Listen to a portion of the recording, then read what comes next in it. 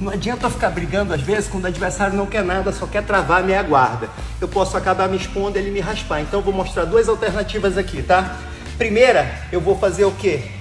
Eu vou abrir minha base, marcando bem a pegada, eu descanso aqui, ó, para ter mais firmeza na pegada e não deixar ele ter uma pegada dominante. E a minha mão vai empurrar para outro lado. O peso também vai todo na ponta do meu pé, que está dentro da minha guarda. Ó, subo só o joelho, levo junto com o braço dele para o outro lado, até o joelho vir aqui para meia montada.